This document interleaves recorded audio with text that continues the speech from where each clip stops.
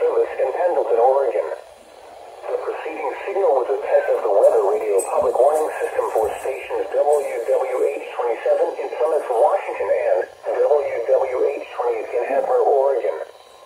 During potentially dangerous weather situations or civil emergencies, specially built receivers can be automatically activated by the signal to warn of the impending hazard.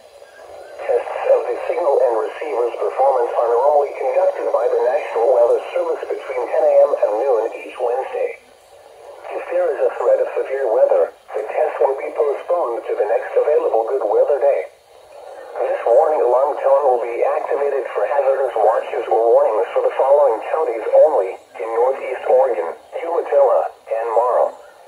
In Southeast Washington, Benton. This test of the warning alarm tone is concluded. We now return to regular programming.